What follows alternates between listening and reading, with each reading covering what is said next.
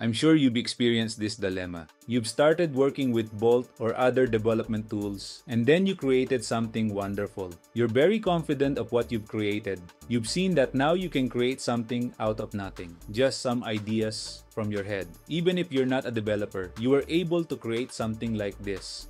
This is very important to you. That's why you use the Bolt to GitHub extension to be able to save and keep your precious code in GitHub. Now you've started to work on it in a different tool, or perhaps continuing to use Bolt and you started to make some improvements on it. You see that you're creating something out of nothing. Of course, you want more. You want more features, you want more enhancements. So little by little, you do what you can. You use your prompt, you use your AI tool, and you can see right before your eyes in the matter of minutes or hours, you can see the work unfolding. It's starting to get really nice, so you're in the zone. You want more enhancements, more integration, you are sure that this could become something if you continue working on it. So you're really in the zone, your code is evolving, you're continuously using GitHub to commit your code, and it's nearly finished. You just need a bit of polish because sometimes you can see some UI issues. But don't worry, that's nothing compared to what the AI can do, right? But suddenly, things started to degrade. New commits become worse than the previous ones. Some styles came out of nowhere, and you have no control of what's happening. You try to fix it, but it becomes really worse. You're beginning to be frustrated, but you're not giving up. You know you can fix this. You know you have your code in GitHub. It's just a matter of time. And now, things are starting to get better again. Even though there are some issues left, you can still do this. It happened before, right? So you never give up and you started to focus on it until suddenly things really start to get out of hand. You can see the changes you made went from bad to worse, and then suddenly you are shown this dreaded error message. I'm sure some of you have experienced this. In this video, what I'm going to show you is how to fix or how to revert to the good commit that you have before without using any command line tools, only GitHub. You can see here that I have my commits. I'm doing a lot of commits whenever I get something done, whether it's for better or worse. I'm carefully creating the commit messages here. The first thing you need to do if you want to revert to a good commit is look at your commits. You can find your commits in your GitHub repository by clicking on the commits link. Naturally, you're going to be on the main branch. And you can see here the history. But of course, we want to fix this issue or revert to the good commit without losing our latest code, right? We can still use it for reference whatever changes or whatever dreadful result you've had, sometimes it's just a matter of fixing one line of code. Sometimes it's really bad, but regardless, it's a good practice to back up your main branch. To do that, click on the branch dropdown, and then you can see find or create a branch. Let me type in a new branch name. It's good to put some kind of date. This will create a new branch from the main branch. Now I'm on the backup branch. Since we want to revert the changes in the main branch, let me go back to the main branch again. Every change that I will do here will only be done on that particular branch. It will not affect our backup. Next, go to the commits again and find the good commit that you want to restore. For instance, the one I have demonstrated, I have intentionally destroyed it to make a point. You can see here that with the help of the good commit messages, I'll be able to determine what's the best or what's the good commit that I have done before. I see here that there's this message, intentionally destroy. But before that, all of these are serious commits. Let me go to that last good commit. Let me click on it. And then we can browse the repository at this point in the history. You can see here in the branch picker that not only did it list the branches, it selected the commit that we've chosen earlier. What I will do is similar to what I did before. I will create a new branch based on this particular commit, the last good commit. I will name this revert point. You can name it whatever you want. Now this is the revert point And of course, you can clone it locally and check if that's going to be the correct commit. But in this case, I will just proceed with the changes here because I know this is the last good commit that I have. You can see here that this branch is 10 commits behind. Those 10 commits that the main branch has are all bad commits. You can see here intentionally adding some errors, etc. No worries about this message. This is the good commit that we have. So far, we have two new branches here, the main backup and the revert point branch. Next, go to the settings because we want to delete our main branch, but we cannot delete it because it's the default branch.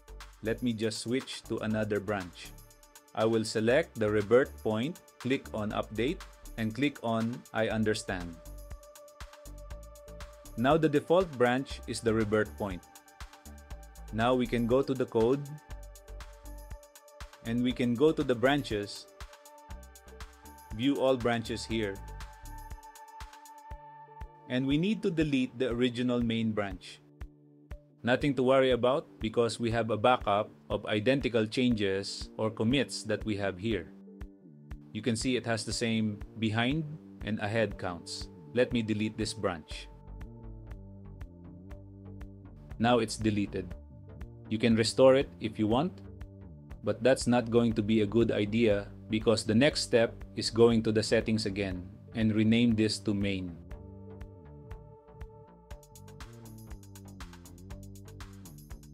It says here that the branch revert point will be renamed to main shortly we can click on this and we can see here that the default branch has been renamed. Now we have some instructions here but we don't need to worry about this because we do not have a local clone. We can ignore this. We can click on OK, got it. Now, assuming you're using Visual Studio Code like I do, this is not enough. You can see that I have the main branch checked out here. And it says here that this branch that I'm working on, the local branch, is ahead by 10 commits. I will not click on sync changes because this will push all those bad commits back to my main branch. We don't want that. What we want to do is delete all of this so that the origin, you can see here the origin means the remote branch, is going to be in sync with my local branch. To do that, we can simply use the GitLens tool here. This is a VS Code extension.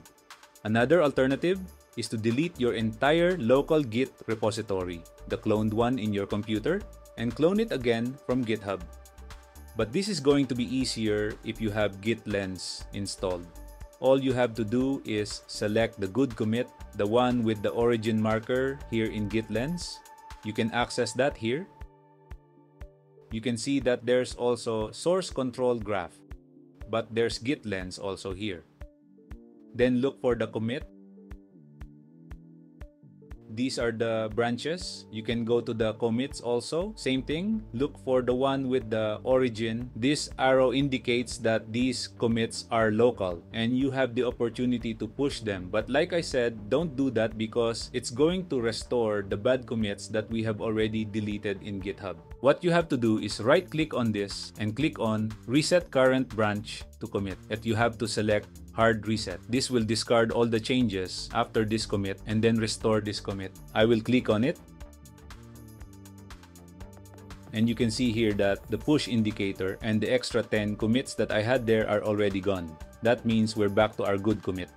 Looking at our code, since I have npm running behind the scenes, it automatically updated to that good commit that I had before. If you want to run that in the command line, what you can do is execute this command.